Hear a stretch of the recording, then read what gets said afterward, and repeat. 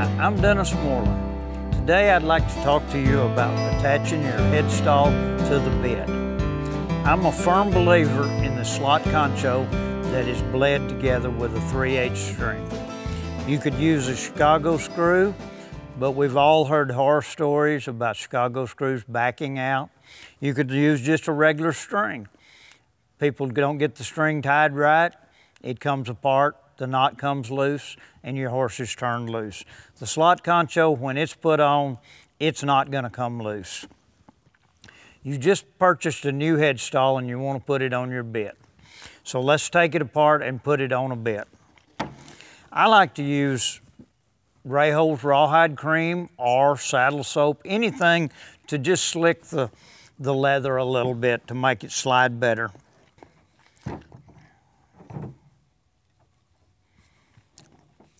Pull your bottom string up. Start it out with a fid. Then I take my little needle nose pliers and just thread it out.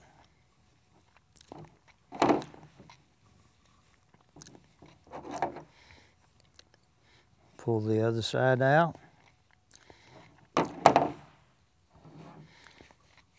Okay, we've got it taken apart.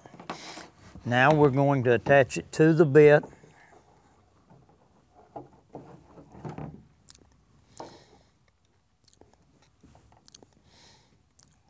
Thread the strings through the slots. Pull it down snug. Put your concho on.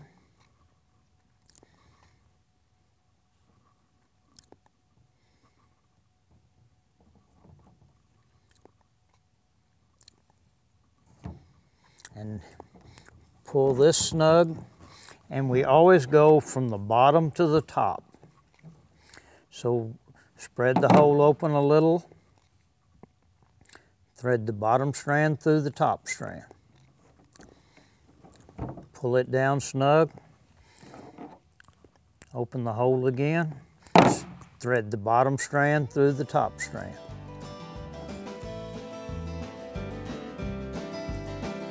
Turn the string a little and it'll lay flat on the side of your headstall. Now you just repeat it, the same process on the other side and you're good to go. For more tips and to take a look at some of the country's finest handmade tack, log on to dmtack.com.